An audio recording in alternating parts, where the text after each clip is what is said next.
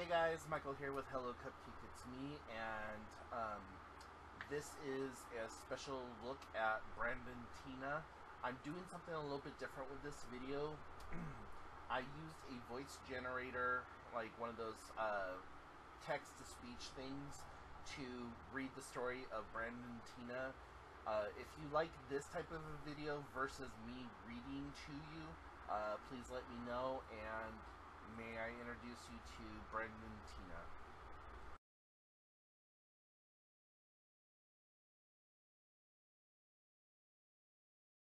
Brandon Teena, December 12, 1972 December 31, 1993, was an American trans man who was raped and later, along with Philip Devine and Lisa Lambert, murdered in Humboldt, Nebraska.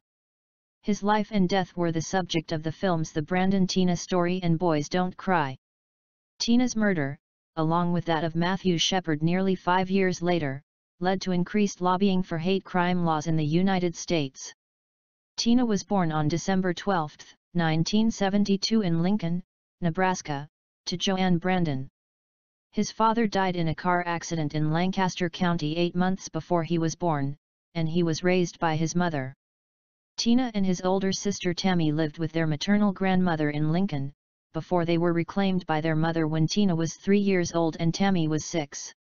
The family resided in the Pine Acre Mobile Home Park in northeast Lincoln. Joanne received disability checks and worked as a clerk in a women's retail store in Lincoln to support the family.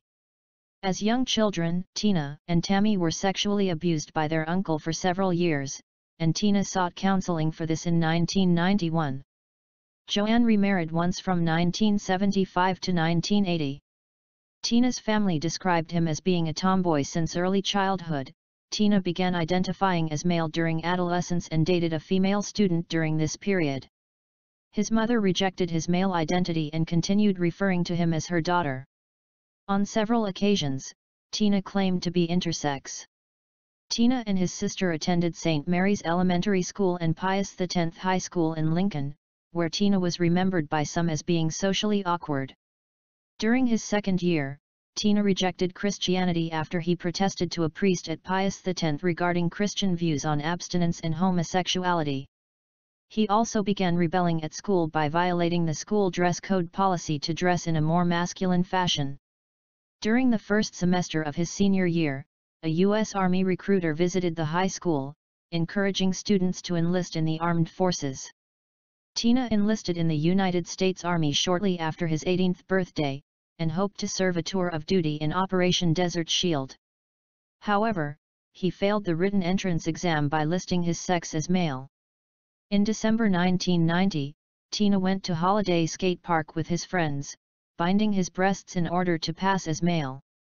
The 18-year-old Teena went on a date with a 13-year-old girl. He also met the girl's 14-year-old friend, Heather, and began regularly presenting as male.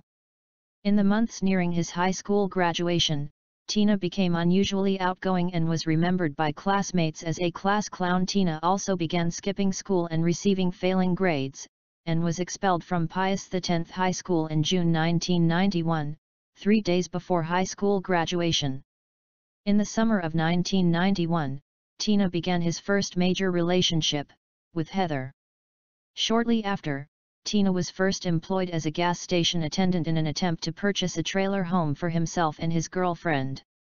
His mother, however, did not approve of the relationship, and convinced her daughter to follow Teena in order to find out whether Teena's relationship with Heather was platonic or sexual.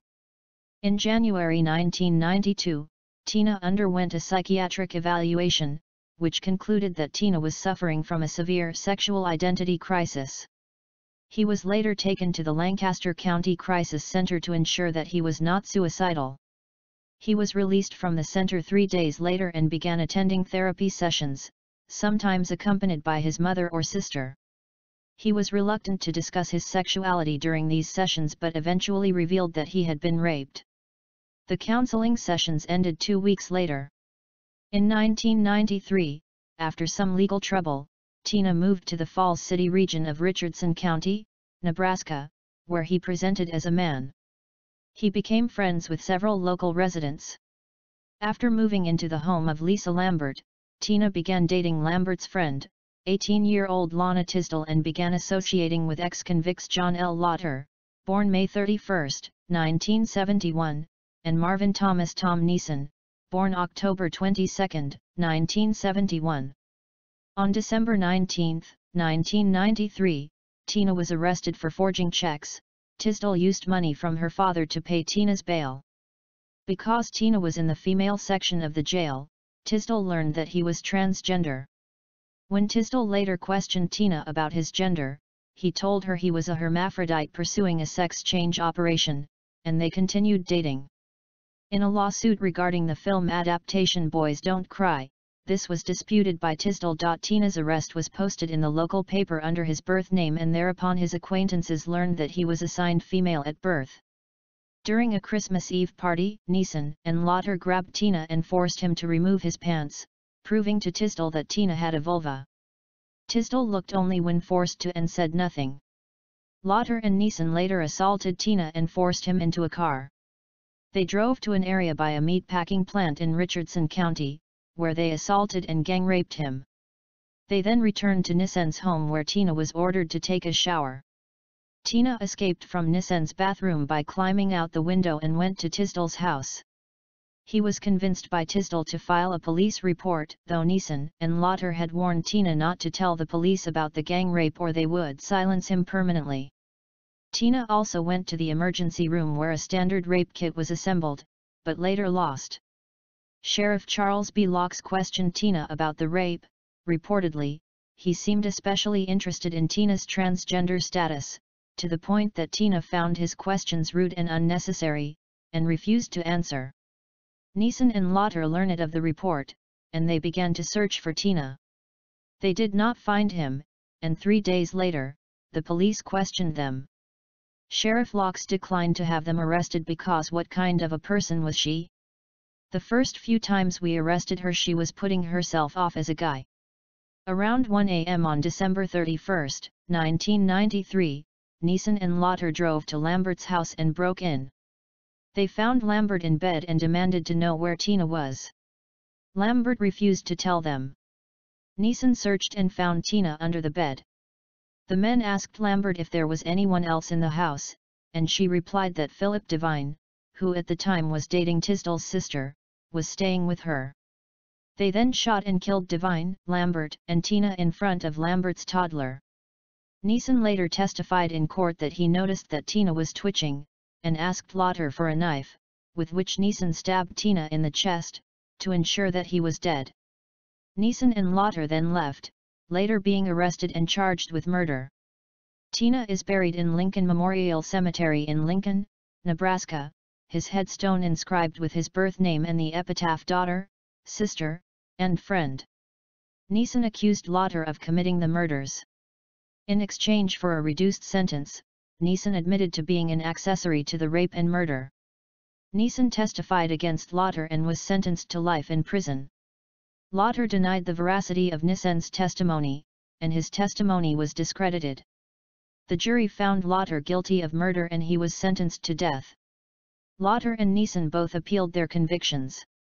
In September 2007, Nissen recanted his testimony against Lotter. He claimed that he was the only one to shoot Teena and that Lotter had not committed the murders in 2009. Lotter's appeal, using Nissen's new testimony to assert a claim of innocence, was rejected by the Nebraska Supreme Court, which held that since even under Nissen's revised testimony both Lotter and Nissen were involved in the murder, the specific identity of the shooter was legally irrelevant. In August 2011, a three-judge panel of the 8th U.S. Circuit Court of Appeals rejected John Lotter's appeal in a split decision. In October 2011, the Eighth Circuit rejected Lotter's request for a rehearing by the panel or the full Eighth Circuit en banc.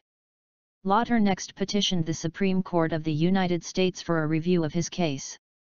The Supreme Court declined to review Lotter's case, denying his petition for writ of certiorari on March 19, 2012, and a further petition for rehearing on April 23, 2012, leaving his conviction to stand.